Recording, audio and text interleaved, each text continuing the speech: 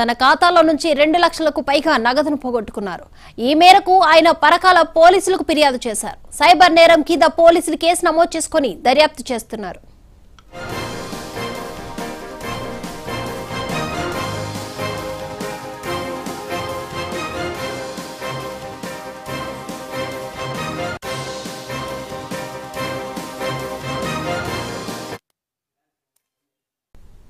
కర్నూలు జిల్లాలో గూల్యం శ్రీ సిద్ధ లింగేశ్వర గాది లింగేశ్వర స్వామి వర్ల జోడు రథోత్సవంలో అపశృతి చోటు చేసుకుంది. స్వా-